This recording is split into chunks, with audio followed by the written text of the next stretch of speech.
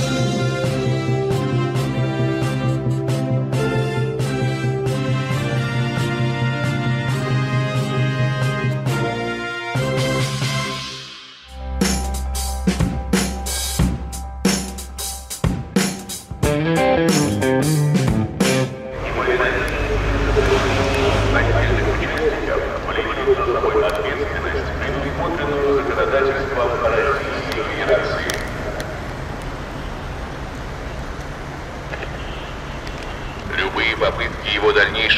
проведения будут пресечены в соответствии с действующим законодательством. Его участники будут привлечены к административной ответственности. Участникам могут быть применены меры физического воздействия. Требуем немедленно прекратить. В соответствии с федеральным законом номер 54 от 19 июня 2004 года является незаконным и несогласованным. Любые попытки его дальнейшего проведения будут пресечены в соответствии с действующим законодательством. Его участники будут привлечены к административной ответственности. Участникам могут быть применены меры физического воздействия. Начнем по порядку и начнем, естественно, с численности, а потом уже будем описывать то, что случилось и э, показывать э, то, что сможем показать. Численность пришедших на митинг, честно говоря, превзошла мои э, ожидания. Я, в общем-то, опасался того, что после первого митинга на второй придет мало народу. Народу пришло в Уфе очень много. Э, Очень сложно, на самом деле, оценивать численность. Кто-то говорит, что это 2000, кто-то 3000, кто-то говорит, что это 5000. Ну, наверное, 5000 все-таки не было, было что-то где-то 3-4 тысячи. Теперь о том, как все это проходило и как э, все это э, закончилось. Ну, начну я с того, что на этом митинге э, задержали оператора нашей съемочной группы, и он, к сожалению, провел практически весь день в РОВД номер один в Энорсе, э, в приятной компании, но тем не менее не смог сделать нам уникальных, хороших кадров, э, о чем я сожалею, но тем не менее я там сам лично присутствовал и ну, что-то могу описать, что-то могу показать при помощи э, кадров моих коллег или очевидцев, которые там присутствовали.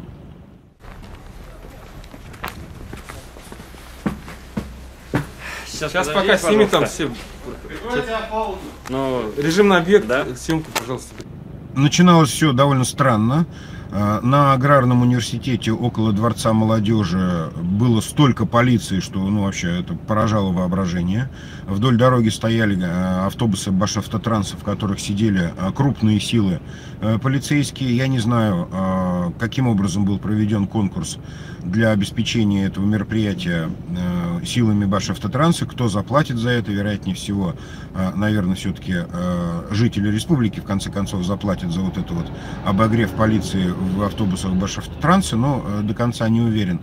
В общем, полиции было немерено много, и людей не было никого. И потом потихонечку, где-то после 12, начала собираться э, не очень большая толпа. Э, Тут же произошли какие-то задержания. Как ни странно, задерживали в основном женщин.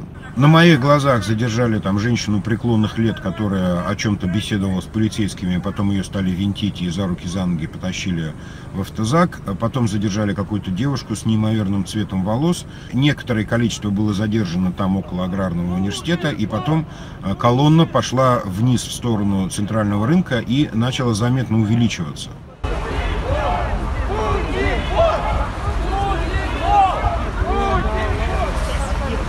колонна двинулась вниз по улице 50 лет октября. Колонна протестующих приближается к перекресткам 50 лет октября и Арховенко, то есть приближается к центральному рынку. Вот начало колонны здесь передо мной.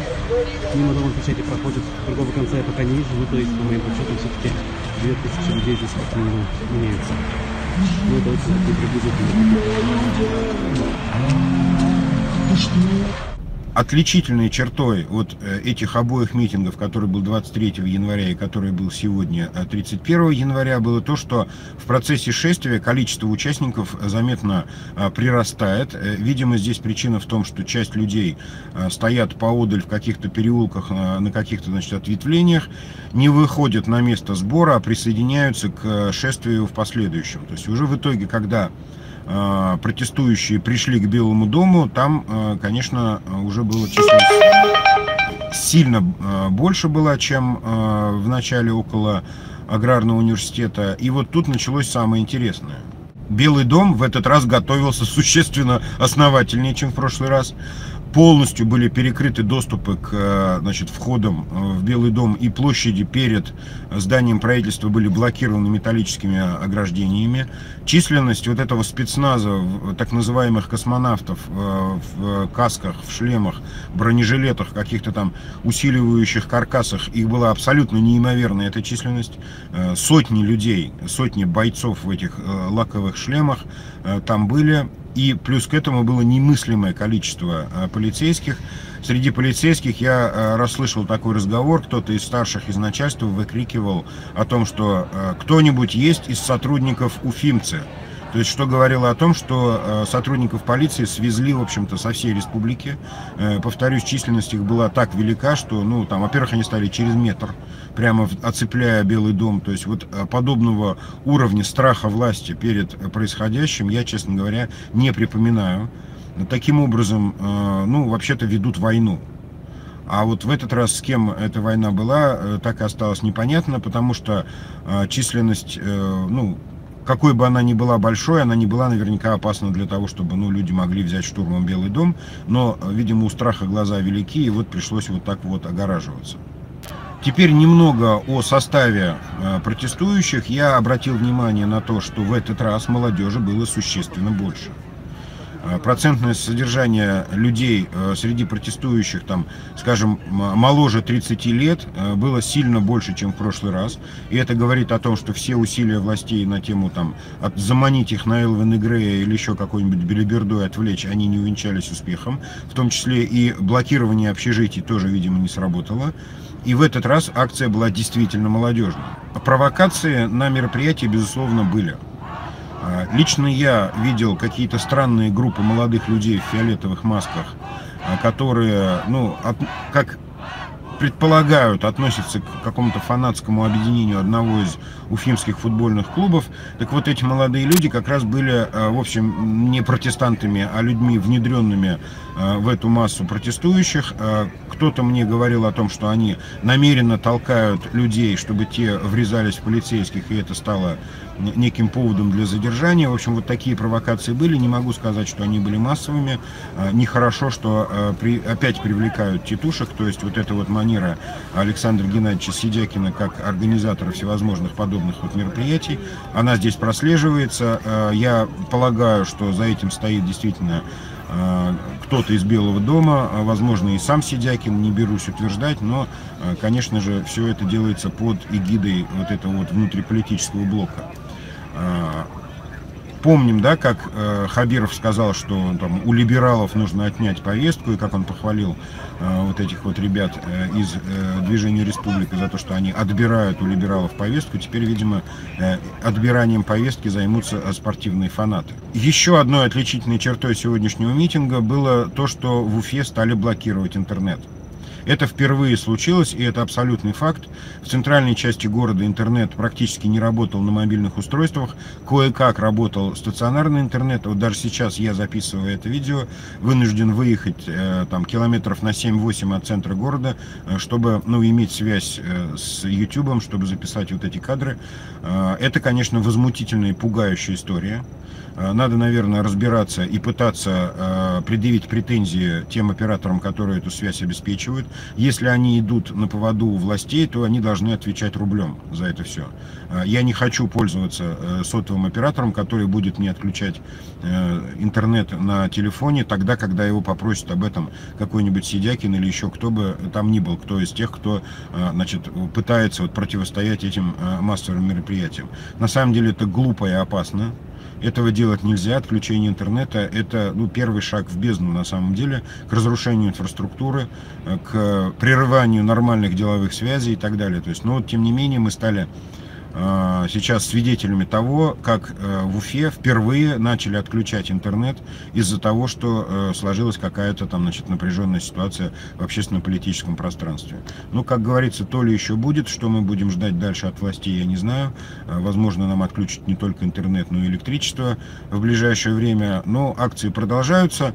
И главный вопрос, как говорится, повисает в воздухе. Главный вопрос, конечно же, это то, будет ли третья акция, а за ней четвертая и пятая. Э, Не знаю, какое тактическое решение будет принимать штаб Навального в Москве и по всей России. Э, Безусловно, они показали, что они могут вывести очень большое количество людей на улицы. Безусловно, они показали, что количество недовольных в России, то, что мы видим сегодня на кадрах из Петербурга, Екатеринбурга, Челябинска, многих других крупных городов, ну и, естественно, Москвы и Уфы, это говорит о том, что недовольство населения властью вовсе не объединенное Навальным, а естественное и природное недовольство, оно достаточно высоко, оно нарастает, власть испугана и окружает себя э, космонавтами и железными заборами. Не знаю, куда это все придет, э, но э, в общем и целом, конечно, обстановка очень тревожная.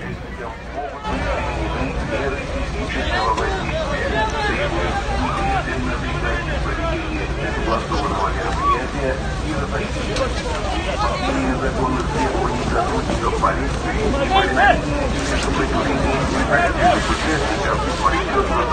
Когда колонна попыталась прорвать оцепление, но тут же, тут же несколько туристов задерживается.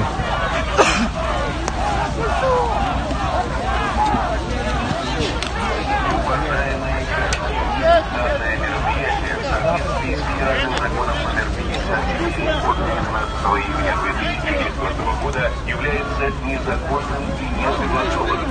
Любые попытки его дальнейшего проведения будут в соответствии с действующим законодательством. Участникам могут быть применены меры физического воздействия. Требуем немедленно прекратить. Вот так вот вытаскивают. Котовские снежки, как неделю назад.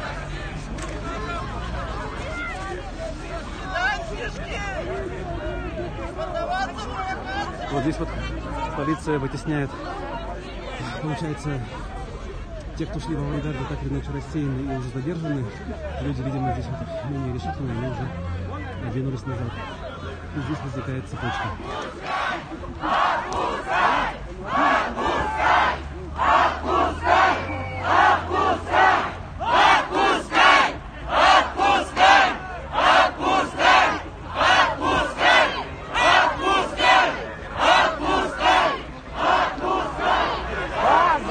и попытки его дальнейшего проведения будут пресечены в соответствии с действующим законодательством. Итак, после попытки прорыва Участники будут ОМОН и полиция пошли к решительным действиям.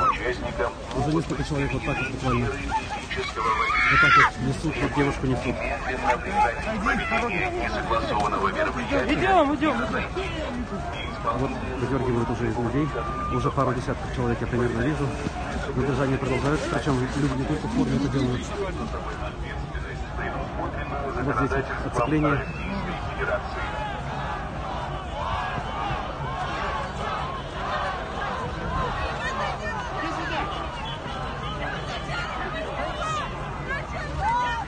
Причем в основном я вижу, что молодежь задерживается, причем в довольно жесткой форме. И там и сям полицейские действуют. Будете, блядь, потом псов поганым служить. Я никому из вас медосмотр не подпишу.